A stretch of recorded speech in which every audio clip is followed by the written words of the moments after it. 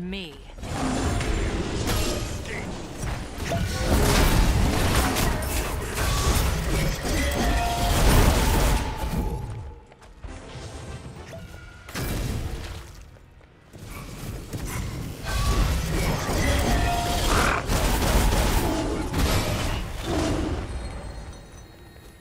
I am prepared for